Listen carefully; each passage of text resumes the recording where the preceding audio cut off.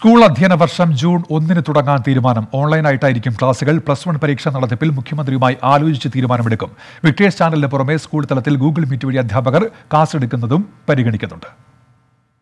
കഴിഞ്ഞ വർഷത്തെ പോലെ ഈ വർഷവും ഓൺലൈൻ ക്ലാസ് തുടങ്ങാനാണ് തീരുമാനം.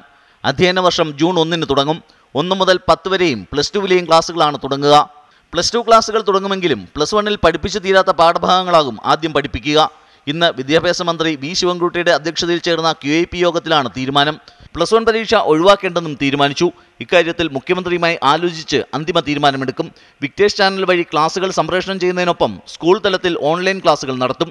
ക്ലാസ് തലത്തിലായിരിക്കും ഗൂഗിൾ മീറ്റ് വഴി ക്ലാസുകൾ നടത്തുക. പ്രവേശനോത്സവം ഓൺലൈനായി നടത്താനും തീരുമാനിച്ചു. നിയമന ശുപാർശയും നിയമനവും ലഭിച്ച അധ്യാപകർക്ക് ഈ അധ്യയന വർഷം ആരംഭത്തിൽ തന്നെ ജോലിയിൽ പ്രവേശിക്കുന്ന കാര്യത്തിൽ ഉടൻ തീരുമാനമെടുക്കുമെന്നും മന്ത്രി വി ശിവൻകുട്ടി യോഗത്തിൽ അറിയിച്ചു. ട്വന്റി തിരുവനന്തപുരം.